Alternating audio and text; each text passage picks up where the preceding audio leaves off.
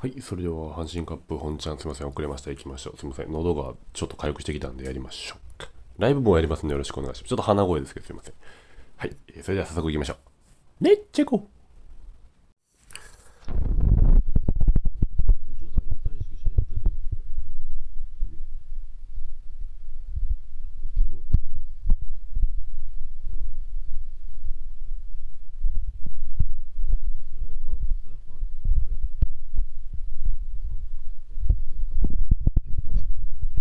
グレナディアガードはね、大外行ったみたいですね、これ。はあ、大外はきついんちゃうってところで、ダイヤトニックもちょっとそのまま行ってもうたんで。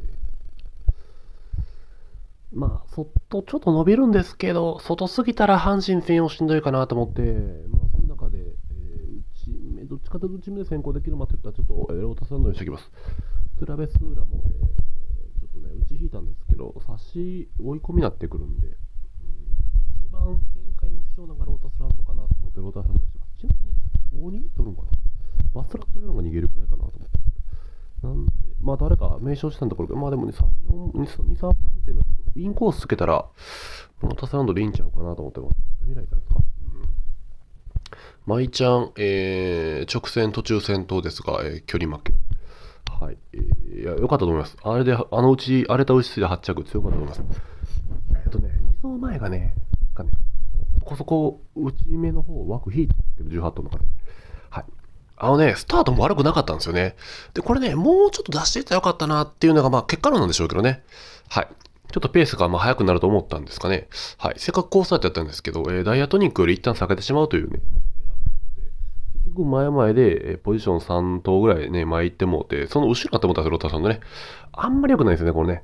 ちょっと外持って行ってまいりました。6、7番手で差し聞きますかで、ローターさんのそんな差せるまじゃないんで、うん、関谷記念買ったぐらいの、えー2、3番手追走して、えー内からでもさばけるっていうのが子供の魅力なんで、はい。今回ちょっとね、基本いい馬なんで、もうスーッとポジション取れたら、まあ、3、4番手の、えー、うち2列目ぐらいで勝ってほしいなっていうのが、えー理想ですね。まあ、この馬と思いますよ、多分。うん、ダイエットニックはね、まあ、全部、確かに阪神専用コースなんですけども、前走買ってもうて、インコースで買ったんで、今回外持っていった時しんどいちゃうかなと思ってます。はい。グリナディアガーズもどこまで追い込んでくるかっていうところですね。はい。ちょっとさすがにお外しんどかったな。12番までやったら買おうと思ったけど。はい。まあ一応この本命から相手3と、まあさすがに人気通り決まりそうなんで、えーワイドとマレンと3連単と抑えてるんでよろしくお願いします。はい。ということでまたライブでお会いしましょう。ご清聴ありがとうございました。